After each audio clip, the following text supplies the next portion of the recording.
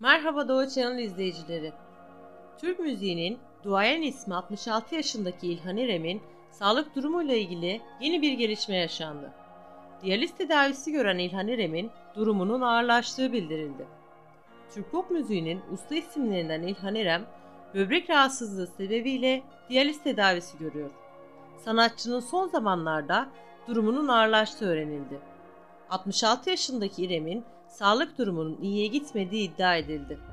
Akşamın haberine göre İlhan İrem'in yakınları sevenlerinden dua istedi. 2016 yılında rahatsızlanarak hastaneye kaldırılan İrem iki gün diyaliz makinesine bağlanmıştı. Gelişmeleri mümkün olduğunca paylaşmaya çalışacağım.